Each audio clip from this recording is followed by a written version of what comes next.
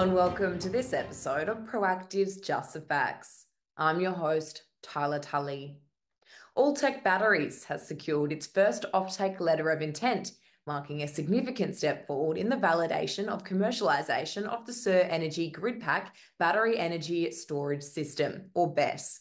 The LOI has been struck with Zweckverband Industry Park Schwarze Pumpe, or ZISP, ZISP manages the park's infrastructure and energy needs and is committed to purchasing 30 megawatt hours of energy storage capacity annually for five years.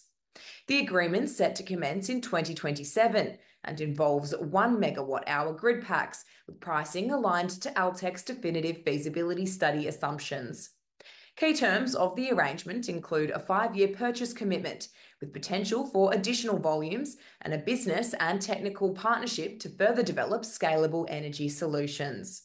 The LOI indicates ZISP's intent to transition the industrial park from coal to renewable energy sources, combining wind, solar, and Altech's Energy BESS to ensure reliable power supply. Battery deliveries are expected to commence by mid 2027, pending successful performance tests and specification compliance. The company says the LOI marks a significant milestone for Altech and demonstrates the growing demand for innovative energy storage solutions, particularly as industries shift towards 100% renewable energy. Adding, it's encouraging to see potential customers like ZISP recognise the value of its scalable and reliable battery systems, further validating the commercial potential of its technology. Thanks for watching. These are just the facts.